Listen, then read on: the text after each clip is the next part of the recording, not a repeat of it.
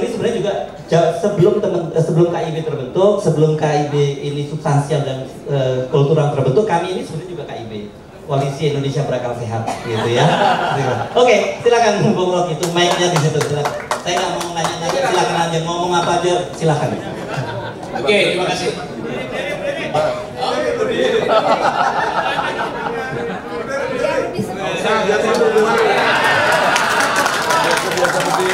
Aku berdiri nyari gara-gara. Iya, tidak disengaja. Apa tadi? Satu Triple minority. triple minority itu. Eh, non muslim. non muslim itu minority. Pasti saya kenal. Oposisi minority. Saya mengalami triple minority, satu non muslim, dua oposisi, tiga jomblo. Iklan, iklan, iklan, iklan. Coba yang Makanya kawin. Tapi saya agak jengkel dengan dua teman ini. Yang terlalu banyak jadi jurkamnya Anies. Ngapain? Muji-muji, promosi bahwa Anies adalah jalan pikiran alternatif. Nggak adil bagi lawan-lawan Anies kalau Anies menang 80 persen.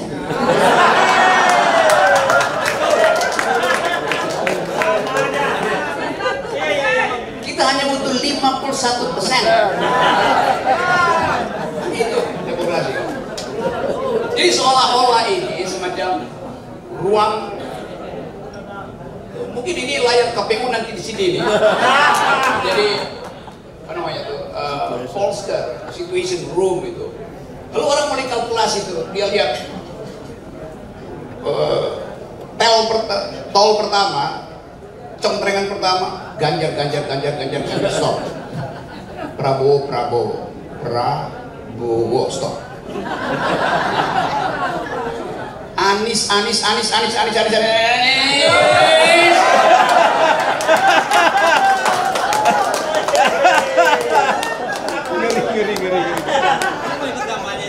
Ada Saya, saya bayangin nanti di 2024 ruangan ini akan dipakai untuk deklarasi kemenangan.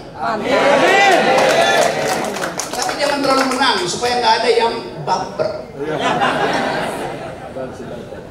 Jadi saya pastikan 2024 wartawan yang ada di sini begitu hitungan suara quick count masuk 30% bubar semua karena menganggap Anies harus sudah dilantik.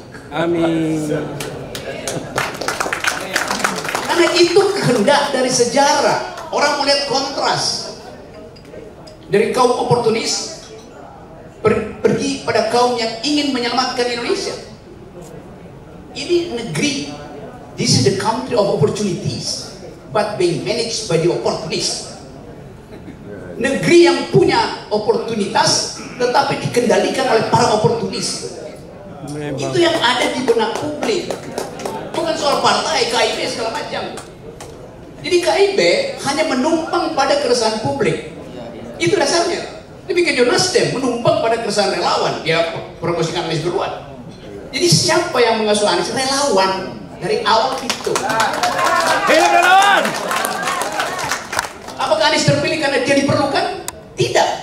Dia terpilih karena yang sekarang tidak diperlukan. Iya, iya, iya, iya, iya, iya. iya. Setelah dia Saya mau tanya gitu.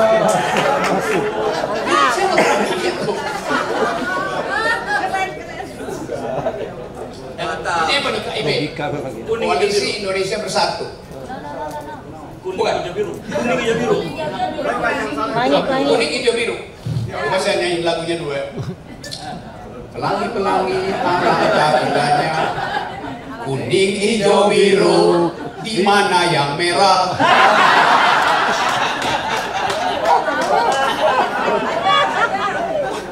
Tapi saya ingin KIB ini jadi pembeda dari KIB yang ada di Monas. Siap. Kalau itu koalisi Indonesia Bersatu, bersatu untuk apa? Untuk korupsi. Ini KIB koalisi Indonesia bermutu. Dan itu yang kita inginkan, mutu politik kita drop setiap hari. Kenapa? Karena digerogoti oleh arogansi, digerogoti oleh kehendak untuk menampung kekuasaan, digerogoti oleh ini tiga periode perpanjangan, penundaan segala macam. Kita nggak baca bahwa sejarah sedang berubah. Di mana-mana orang menginginkan perubahan. Nah, kehendak itu yang tidak dibaca oleh lembaga survei. Karena tidak mungkin lembaga survei disuruh membaca kehendak zaman. Lembaga survei di brief untuk membaca kehendak Jokowi. Itu aja. itu itu poinnya begitu. Jadi teman-teman, kita singkat aja peristiwa ini. Bahwa ini adalah momentum yang sudah bergerak. Dan dia seperti snowing balls, batu yang meluncur dari gunung, nggak ada yang bisa tahan. Jadi percuma Pak Firly berupaya untuk rubah hukum acara ke P, P3K apa, apa namanya? KPK. KPK. Tapi rupanya saya dalam bentuk P3K.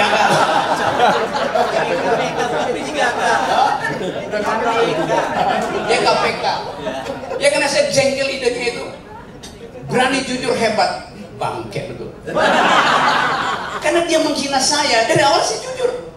Dari awal Ustadz jujur. Dari awal dosen jujur. Kenapa mesti dibilang berani jujur itu hebat? Biasa aja. Biasa aja. Moral kita diasuh oleh kejujuran dari awal. Republik ini didirikan oleh kejujuran. Jadi ngapain mesti diingatkan? Sama seperti menghadirkan kembali keadilan sosial. Bukan. Kita menghalangi ketidakadilan sosial. Karena imperatif dari dari konstitusi keadilan sosial. Jadi kita menghadirkan kembali keadilan. Lo memang itu di konstitusi kan begitu. Tugas presiden cuma dua.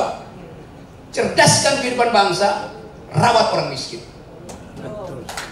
Itu aja. Dua-duanya basis yang sudah ditetapkan oleh konstitusi. Jadi kita persoalkan sekarang, mengapa presiden tidak merawat orang miskin? Karena ada disparitas. Empat orang Indonesia meng- eh, menguasai tiga per- tiga persen, tiga delapan puluh persen dari kita. Itu artinya menghina konstitusi. Apakah presiden mencerdaskan kehidupan bangsa? IQ nasional kita tinggal 70, setara dengan simpanse. Iya, rata-rata nasional begitu. Kita di, di, di dalam standar Asia kita 30 di bawah. Singapura di atas 100, normalnya IQ di atas 100. Tapi kita tidak berharap akan ada perubahan. Kalau tidak ada orang yang bilang enough is enough. Dan itu yang mengganggu politik kita hari-hari ini. Jadi saya percaya bahwa pertemuan ini adalah konsolidasi ide. Konsolidasi masa depan. Dengan demikian ada kepastian bahwa perubahan politik harus terjadi demi memenuhi tuntutan konstitusi. Nah keadaan ini yang hendak kita pastikan bahwa di depan kita memang cuma ada Anies yang diusir dari Merdeka Selatan dan akan pindah ke Merdeka Utara. Makasih.